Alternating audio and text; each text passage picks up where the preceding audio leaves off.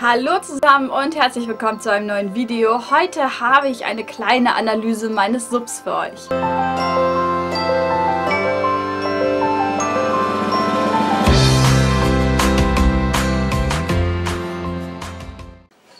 Soll heute mal wieder ein Sub-Update geben, aber ich dachte, ich mache das ein bisschen anders als sonst. Ähm, sonst erzähle ich euch ja einfach nur, wie hoch der Sub so ist und was so Ursachen dafür sein könnten.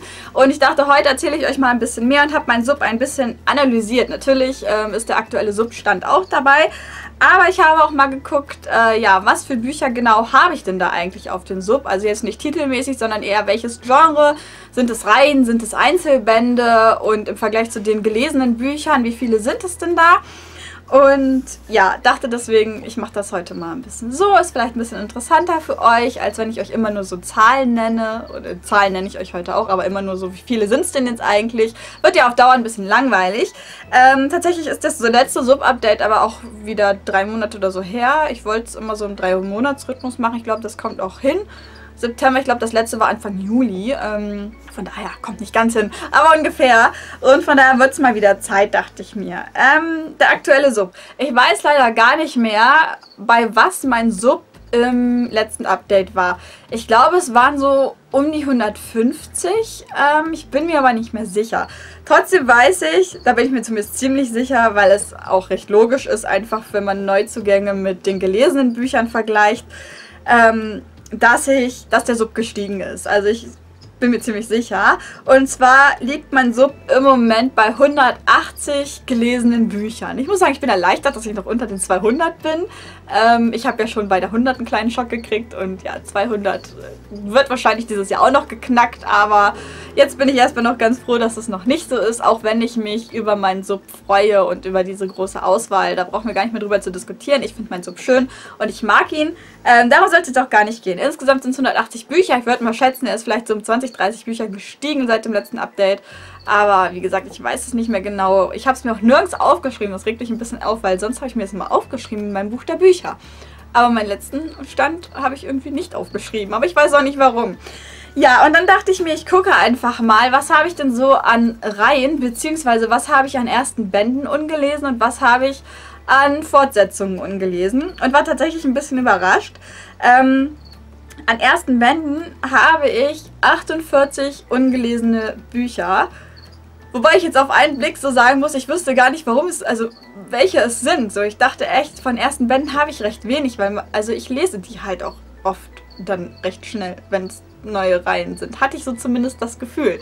Naja, nichtsdestotrotz sind es 48 Stück, das ist gut. Ähm, ein Viertel der ungelesenen Bücher, nicht ganz, ein bisschen weniger, aber schon eine ordentliche Menge. Das Lustige ist, dass ich Fortsetzungen, sprich zweite Bände, dritte Bände und so weiter, habe ich 49. Also nur ein Buch mehr. Ich hätte echt gedacht, dass ich viel, viel mehr ähm, Fortsetzungsbände ungelesen habe als erste Bände. Weil ich das Gefühl habe, dass ich so mega viele angefangene Reihen habe und ständig kommen neue Reihen dazu, die ich anfange, aber dann halt in dem Moment ja noch nicht beende. Das heißt, es werden eigentlich ja automatisch immer mehr Fortsetzungen, die offen sind. Woran ich mal nicht gedacht habe, ist, und das ist auch logisch, dass ich ja die Fortsetzungen von den ganzen angefangenen Reihen noch nicht alle im Regal habe. Und ähm, deswegen ist die Zahl natürlich kleiner. Wenn ich jetzt nur die angefangenen Reihen zählen würde, wäre das natürlich viel, viel mehr. Aber da ich mir die Fortsetzungen immer erst kaufe, nachdem ich den vorherigen Band gelesen habe und dann meistens auch nicht sofort, sondern erst, wenn ich ihn dann wirklich lesen will, stehen bei mir gar nicht so viele ungelesene Fortsetzungen. Und ja, aber ich hätte echt gedacht, dass es viel mehr ist als erste Bände umgekehrt hätte ich gedacht, dass die ersten Bände weniger sind. Also das fand ich gestern schon lustig. Ich dachte erst, das kann doch nicht sein. Das ist so viele angefangene Reihen. Aber ja, die Fortsetzung kaufe ich dann meistens halt wirklich erst äh, später, wenn ich sie wirklich dann auch lesen möchte. So viel zu Reihen und ersten Bänden. Ich habe dann nochmal geguckt, welche Genre liegen denn so, Genren, Genres, keine Ahnung, liegen denn so auf meinem Sub. Ähm, ich habe mir drei rausgepickt und zwar Fantasy, dann alles, was irgendwie mit Liebe zu tun hat. Young Adult, Schnüde Adult äh, und alles, was halt in diese Richtung geht.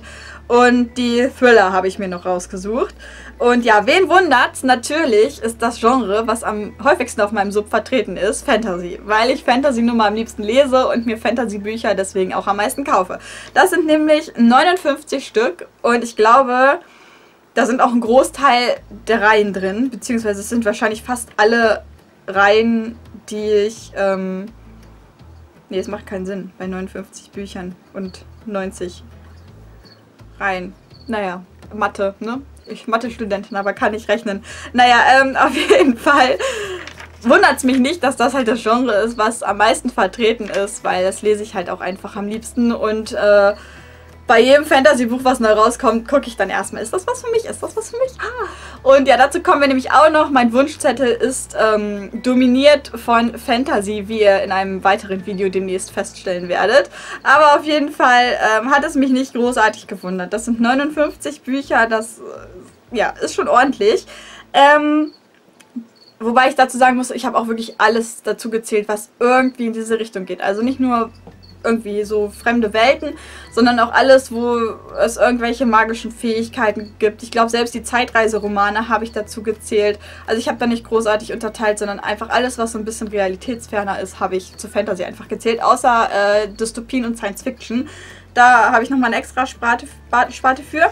Das nächste war dann, wie gesagt, alles, was in Richtung Liebesgeschichten geht. Das sind nicht so viele, überrascht mich aber auch nicht, weil ich da immer noch eher zurückhaltend. Einfach weil ich da nicht immer Lust drauf habe und ich finde einfach, dass viele Geschichten sehr, sehr ähnlich klingen und sehr klischeehaft klingen und deswegen kaufe ich da auch nicht jedes Buch irgendwie sofort und gucke mir die erst genauer an und höre mir ein paar Meinungen an, bevor ich sie mir kaufe.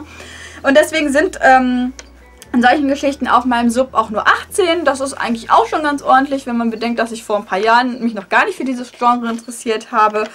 Aber es sind halt echt nicht so viele. Und das, es sind auch wirklich ähm, darunter eigentlich viele Einzelbände. Ich gucke gerade, weil ich die Bücher hinter mir habe. Also Fortsetzung habe ich eigentlich nur von After Passion Teil 4 und 5. Und ähm, Paper Palace, das ist ja der dritte, das habe ich als Fortsetzung bei den Liebeskrams. Und das andere sind eigentlich alles ungelesene Einzel. Ach nee, ähm, Türkisblauer. Oh Gott, das müsste ich echt mal lesen. Türkisblauer Winter, ne? Wisst ihr, wann ich Kirschroter Sommer gelesen habe? Ich glaube, das war Anfang Booktube-Zeit, 2013 oder so. Also das ist schon ewig her. Ich glaube, ich weiß die Geschichte gar nicht mehr. Ich müsste wahrscheinlich Teil 1 nochmal lesen, damit ich Teil 2 überhaupt lesen kann. Ja, aber sonst sind das, glaube ich, ähm, im Großen und Ganzen alles Einzelbände, beziehungsweise erste Bände, die ich hier ungelesen habe aus dem Bereich. Ja, schon ganz ordentlich. Ja, dann das letzte Genre, was ich mir rausgesucht hatte, waren die Thriller. So Sebastian Fitzek bei mir natürlich ganz weit oben, aber auch so Arno Strobel. Und wen habe ich noch? Ken Slaughter. Ähm, und Cody McFadden habe ich jetzt auch neu für mich entdeckt. Auch da sind es nicht so viele, weil auch das halt ein Genre ist, was ich nicht so immer lese, weil ich also nicht so häufig lese, weil ich da nicht so nicht immer Lust drauf habe. Und also im Sommer zum Beispiel finde ich Thriller so größtenteils unpassend. Ich, ist ja denn ich habe gerade so einen Moment, wo ich da einfach Bock drauf habe. Aber es passt eher so in die dunkle Jahreszeit. Und dementsprechend kaufe ich das auch noch nicht so lange und nicht so viel. Und weil ich ja da mit den Autoren immer so ein bisschen vorsichtig bin und nicht, nicht, nicht, mich nicht gleich an jeden neuen Autor irgendwie rantraue, anders als bei irgendwelchen Fantasy-Jugendbüchern. Ähm, auf jeden Fall sind es bei den Thrillern 15 noch ungelesene. Ähm, weiß gar nicht, da sind auch einige Jugendthriller dabei, wie Finstermoos und ähm, das hier von Ursula Pesnanski habe ich hier auch Elanus immer noch ungelesen. Und dann sind da ein paar. Bei ein Fitzek-Buch ist dabei ein Arno Strobel-Buch, ein Cody McFadden-Buch, einmal Simon Beckett, dann die, die Tess Garrison, hier die die Vorlage für Resolient Isles im Prinzip ja geschrieben hat für die Serie. Also es sind so von verschiedenen Autoren und im Prinzip auch fast alles Einzelbände, beziehungsweise das halt Einzelbände, einzelne Fälle. Also bei Cody McFadden ist es ja immer das gleiche Ermittlerteam, aber immer ein anderer Fall. Naja, so zur Genreverteilung. Ich habe dann mal natürlich ausgerechnet, was dann noch überbleibt. Es sind dann noch 88 Bücher, die überbleiben und sich auf andere Bereiche verteilen. Da sind dann Dystopien bei, Science Fiction, irgendwelche, ja, so Chicklit und, ähm, wie nennt man das denn? wenn die so realitätsnah. Ah, wie heißt denn das? Oh, ich weiß es nicht. Heißt das zeitgenössisch? Nein, ich glaube, das ist was anderes, oder? Ich habe keine Ahnung, wie man das nennt. Auf jeden Fall so das normale Leben in einem Buch, ne? Solche Bücher, hier so WG-Romane und was ich hier noch habe und keine Ahnung, der kleine Prinz, das wäre dann so wieder eine andere Richtung. Das hätte man theoretisch auch zu Fantasy packen können. Das ist ja eigentlich eher so ein Kinderbuch. Was habe ich noch an Genre äh, historisch? Besitze ich aber, glaube ich, nicht. Sie sind alle nur ausgeliehen. Ja, alles so ein bisschen was halt, was halt irgendwie in irgendeine andere Richtung geht, ist bei diesen 88 Büchern noch dabei, ist dann tatsächlich die Mehrheit meines Subs. Ähm, da es aber auch mehrere Genres aufeinander gepackt sind, ist das jetzt auch nicht weiter verwunderlich. Ich habe dann mal ausgerechnet, wie viel Prozent der ungelesenen Bücher, oder nein, Moment, wie viel Prozent von meinen gesamten Büchern jetzt ungelesen sind. Das sind so ungefähr, wenn ich mich nicht verrechnet und verzählt habe, 31 Prozent ungelesen, also etwas mehr als ein Viertel. Ähm, ich glaube, Sorgen mache ich mir erst, wenn es die Hälfte ist ob ich die Hälfte ungelesen habe, dann wird es schon ein bisschen schwierig, da jemals hinterherzukommen. Aber bis dahin haben wir ja noch massig Lücken. Und ähm, dann dachte ich mir, da ja in letzter Zeit auch einige Mangas bei mir eingezogen sind, zähle ich doch einfach mal, wie viele Mangas noch ungelesen sind. Es sind gar nicht so viele, weil wie gesagt, so lange. Wann habe ich damit angefangen? Im Juni, glaube ich. Mai, irgendwie so, kurz nach der Leipziger Buchmesse. Weiß ich gar nicht mehr. Ähm, mein Manga-Sub beträgt gerade mal sieben. Ich kann es noch an zwei Händen abzählen. Das ist noch nicht so viel. Und die sind auch alle. Wo sind sie denn? Da. Nein, falscher Finger. Moment, wo muss ich hin? Ah, da. Da, da. Spiegelverkehrt. Das ist mein Manga-Sub, dieses kleine Häuflein. Also, das ist echt noch nicht nennenswert. Ähm, und da ich im Moment auch nicht genau weiß, wohin mit den Mangas, weil ich kein, ich würde für die gerne so ein eigenes Regalfach machen, aber ich habe kein freies Regalfach mehr. Also stapel ich die Mangas momentan in dem einen Regal auf den Büchern, weil da ja immer bis zum nächsten Regalfach so ein bisschen Platz ist.